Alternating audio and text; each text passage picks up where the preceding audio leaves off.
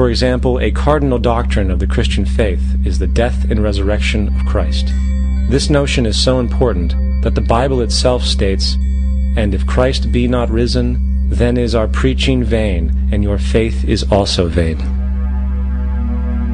Yet it is very difficult to take this account literally, for not only is there no primary source denoting this supernatural event in secular history, awareness of the enormous number of pre-Christian saviors who also died and were resurrected immediately puts the story in mythological territory by association. Early church figures such as Tertullian went to great lengths to break these associations, even claiming that the devil caused the similarities to occur. Stating in the second century, the devil, whose business is to pervert the truth, mimics the exact circumstance of the divine sacraments. He baptizes his believers and promises forgiveness of sins. He celebrates the oblation of bread and brings in the symbol of the resurrection. Let us therefore acknowledge the craftiness of the devil, who copied certain things of those that be divine. What is truly sad, however, is that when we cease the idea that the stories from Christianity, Judaism, Islam, and all the others are literal history, and accept them for what they really are, which are purely allegorical expressions derived from many faiths, we see that all religions share a common thread. And it is this unifying imperative that needs to be recognized and appreciated. Religious belief has caused more fragmentation and conflict than any other ideology. Christianity alone has 34,000 different subgroups. The Bible is subject to interpretation. When you read it, you say, I think Jesus meant this. I think Job meant that. Oh no, he meant this. So you have the Lutheran, the Seventh day Adventist, the Catholic, and a church divided is no church at all. And a church divided is no church at all.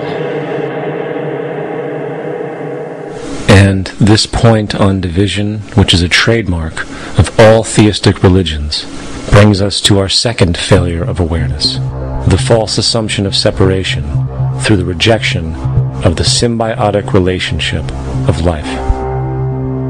Apart from the understanding that all natural systems are emergent, where all notions of reality will be constantly developed, altered, and even eradicated, we must also understand that all systems are, in fact, invented fragments, merely for the sake of conversation. For there is no such thing as independence in nature. The whole of nature is a unified system of interdependent variables, each a cause and a reaction, existing only as a concentrated whole. You don't see the plug connected to the environment, so it looks like we're free, wandering around. Take the oxygen away, we all die immediately. Take plant life away, we die. And without the sun, all the plants die. So we are connected we really must take into account the totality. This isn't just a human experience on this planet. This is a total experience. And we know we can't survive without plants and animals. We know we can't survive without the four elements, you know. And so when are we going to really start taking that into account?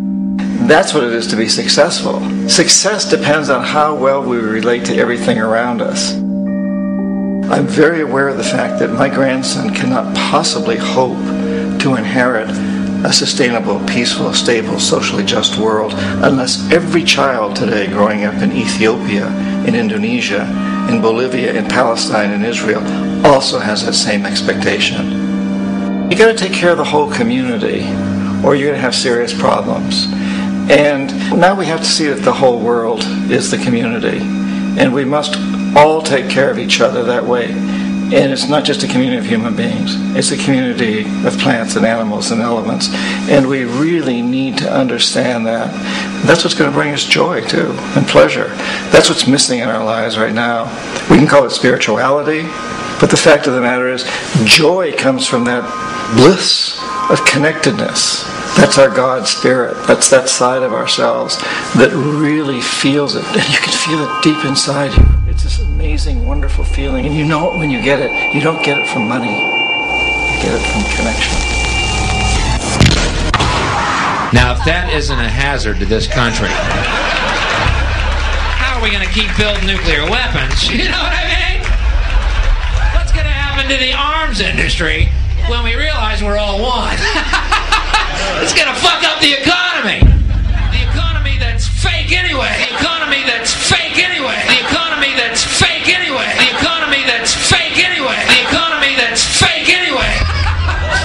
Which would be a real bummer. You can see why the government's cracking down on the idea of experiencing unconditional love.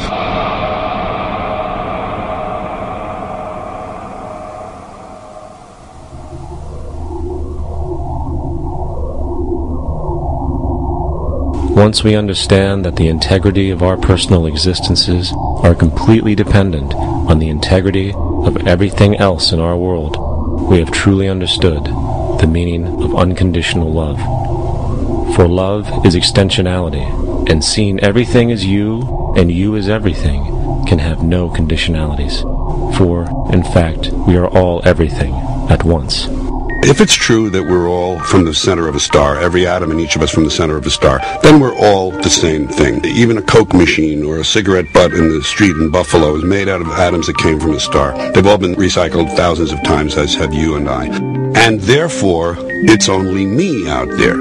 So what is there to be afraid of? What is there that needs solace seeking? Nothing. There's nothing to be afraid of because it's all us. The trouble is we have been uh, separated by being born and given a name and an identity and being individuated. We've been separated from the oneness and that's what religion exploits, that people have this yearning to be part of the overall one again. So they exploit that. They call it God. They say he has rules. And I think it's cruel. I think you can do it absent religion.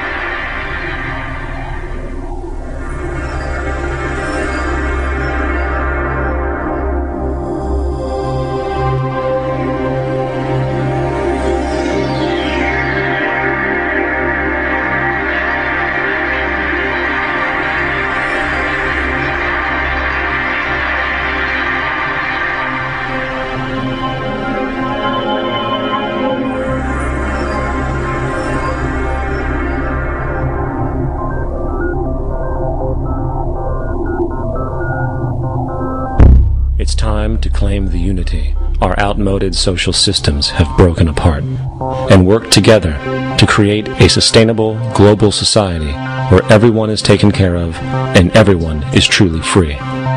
Your personal beliefs, whatever they may be, are meaningless when it comes to the necessities of life.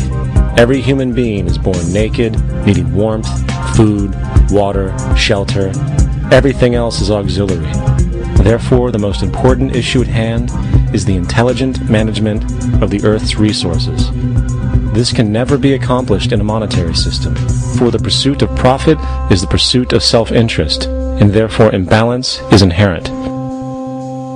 Simultaneously, politicians are useless, for our true problems in life are technical, not political. Furthermore, ideologies that separate humanity, such as religion, need strong reflection in the community in regard to its value, purpose, and social relevancy. Hopefully, through time, religion will lose its materialism and basis in superstition and move into the useful field of philosophy.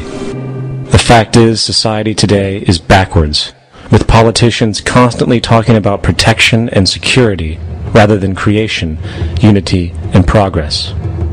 The U.S. alone now spends about $500 billion annually on defense.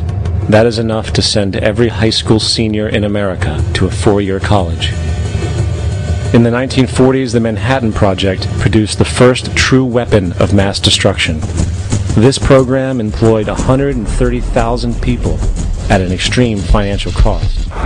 Imagine what our life would be like today if that group of scientists, instead of working on a way of killing people, worked on a way to create a self-sustaining, abundant world. Life today would be very, very different if that was their goal. Instead of weapons of mass destruction, it is time to unleash something much more powerful. Weapons